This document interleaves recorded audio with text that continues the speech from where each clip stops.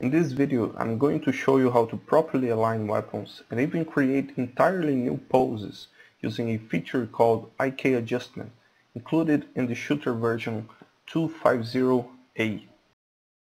First, let's create a new shooter controller. If you have your character selected in the hierarchy and open the character creator window, the model will be automatically assigned along with all the necessary resource files. As you will probably replace the animations of your character, it's a good practice to create a copy of the animator controller that you want to use instead of using and modifying the original ones. We also recommend to keep those customized files on a different project folder. This way you won't lose any files when upgrading to a newer version of the template. Now that we created our character, we need to check if the head track component is working correctly. The head track is responsible to make the shooter controller aim up and down. So let's enter play mode and look up and down. Every model has a different rig, which means that your character could have different bone orientation. So instead of looking up and down, he could be looking left or right.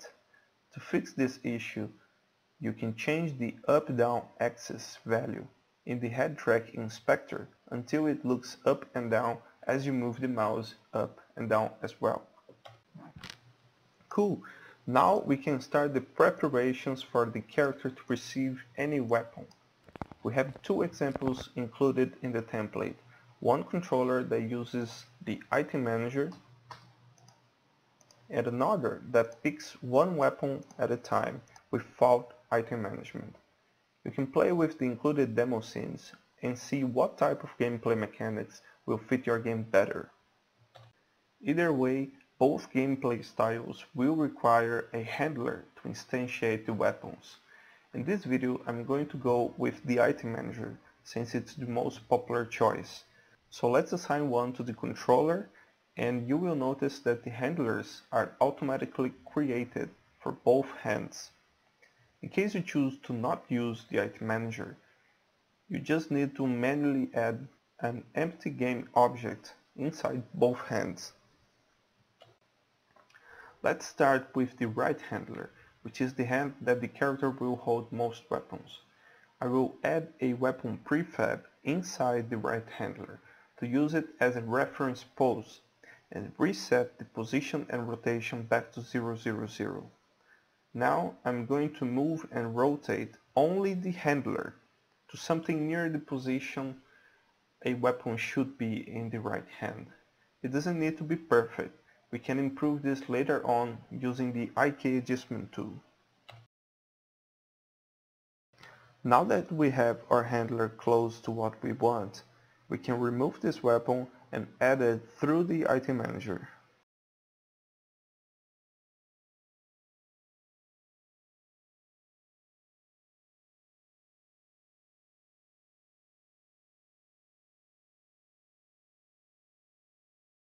If we enter play mode, you will notice that the weapon was automatically equipped since I've checked the option auto equip.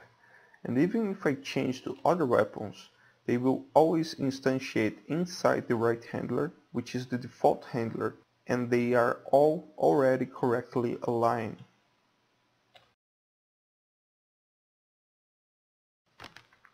You can also create custom handlers for specific weapons and assign to the item information in the item list data.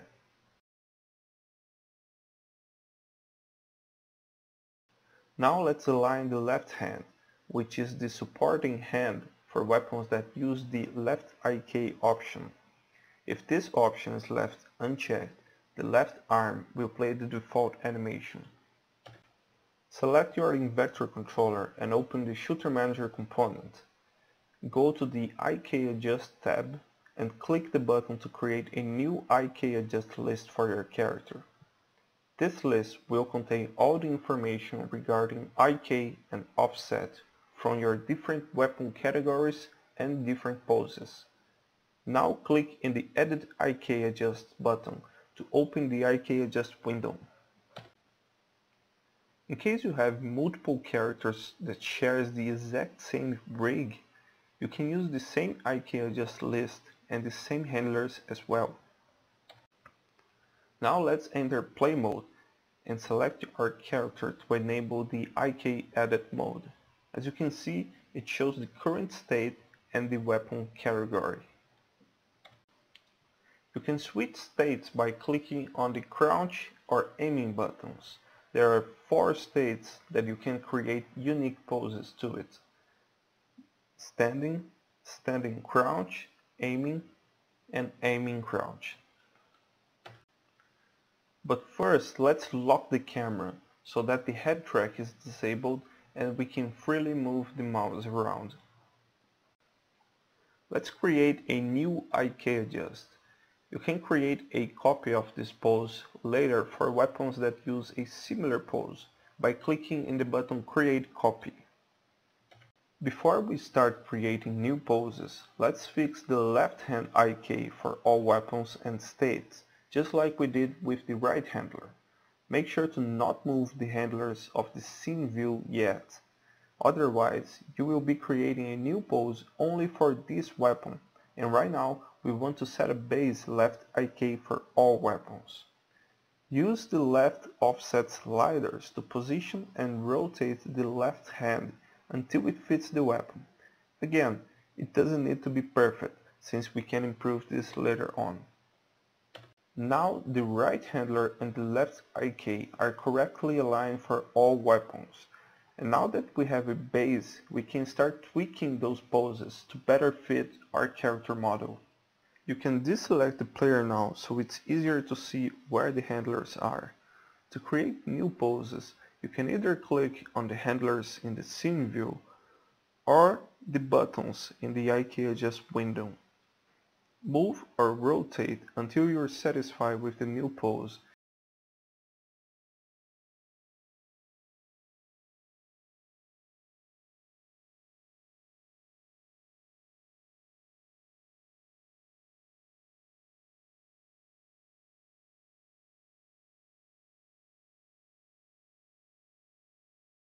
you can simply exit play mode. All the changes you did are automatically saved in the IK adjust list.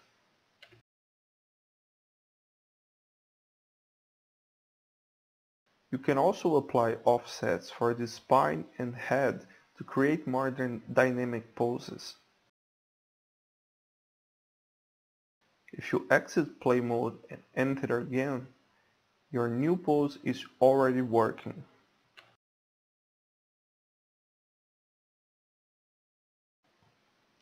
Since 3D models can be big or small, big arms or skinny, the IK Adjust is a pretty cool feature to fit the animation better on your character without the need to create new animations. Well, that's it for this tutorial guys. See you in the next one.